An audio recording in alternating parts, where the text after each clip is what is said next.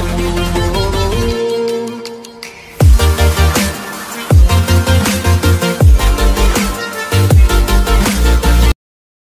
friends welcome back to my YouTube channel friends ये आपके सामने डेल्टन यूनिट है और इसमें क्या है कूलिंग की दिक्कत आ रही है। कूलिंग की दिक्कत क्यों आ रही है? पहले आप ये समझिए क्योंकि हमने क्या है एसी ऑन किया, उसके बाद जो है इसमें जो सप्लाई आउट होती है मतलब कंप्रेसर की तरफ़ सप्लाई आती है इंडोर की जो पीसीबी होती है, वो रिले लगी होती है इसमें तीन मिनट के बाद यहाँ सप्लाई आउट होती है।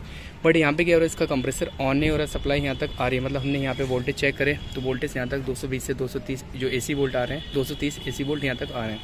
अभी इसमें जो दिक्कत निकली थी, हमने क्लैमीटर लगाया, उसमें देखा था कि इसमें बहुत ज़्यादा एम्पेयर ले रहा है। तो अभी जो दिक्कत है, अगर आपका कंप्रेसर बहुत ज़्यादा एम्पेयर लेता है तो आप सबसे पहले क्या करेंगे, इसमें क्या होता है कैप्स्टर लगा होता है।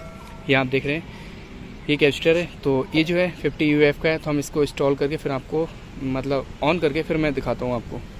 तो अगर कभी भी एम्पेयर बहुत ज़्यादा ले रहा है, आपका कंप्रेसर मतलब एकदम घूँ की आवाज़ करता है, वो बंद हो जाता है तो उस कंडीशन में ज़्यादातर होता है कैपेसिटर वीक होता है तब ये दिक्कत आती है।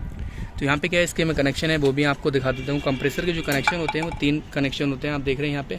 तो इसमें जो कनेक्शन है, इसका ये वाला जो है कॉमन है ये ये आप देख रहे हैं, ये कॉमन है और ये स्टार्टिंग है। ये रनिंग है, ठीक है? तो मैं इसके पहले कनेक्शन करके दिखाता हूँ। फ़िलहाल इसका जो कॉमन है, वो ऑलरेडी लगा है मतलब न्यूट्रल पे लगा है, ठीक है? तो स्टार्टिंग वाला जो पॉइंट होगा, वो सिंगल आपका आएगा इस तरीके से, ठीक है? सिंगल इस तरीके से आएगा स्टार्टिंग वाला पॉइंट अब रह गया इसका रनिंग रनिंग वाला जो पॉइंट है, हमें इस साइड देना है।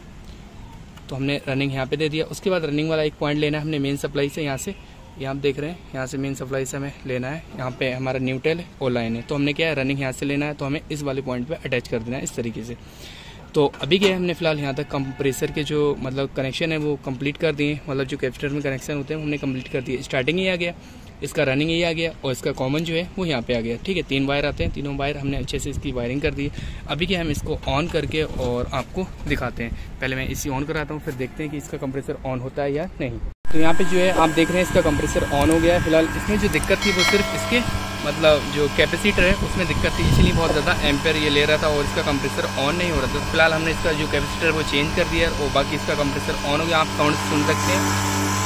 और इसकी जो रिटर्न है रिटर्न भी अच्छे से आ रही है। मतलब इसकी जो रिटर्न है, एकदम चिल्ड हो रही है। यहाँ पे नमी आना स्टार्ट हो गई।